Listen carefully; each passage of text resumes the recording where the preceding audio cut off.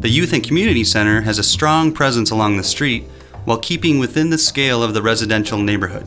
The glazed wall puts the center on display and has a terrific presence.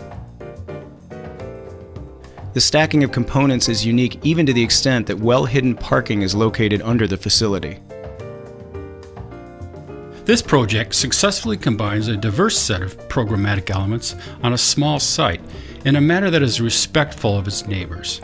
Internally, a high level of flexibility provides for a variety of ways of using the spaces. The informal social spaces are particularly successful. An abundance of daylight energizes the circulation spine, while rotating wall panels provide for multiple activities and scales of gathering.